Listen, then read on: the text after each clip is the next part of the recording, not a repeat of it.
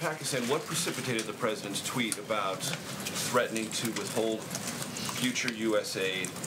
Is there something in particular that he was either briefed upon or that he noticed?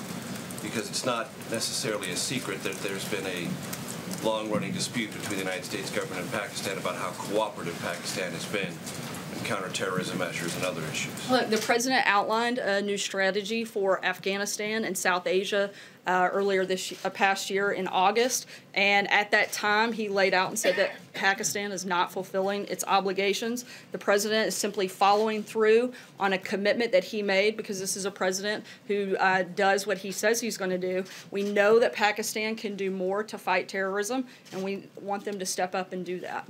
Thanks, Sarah. Happy New Year. What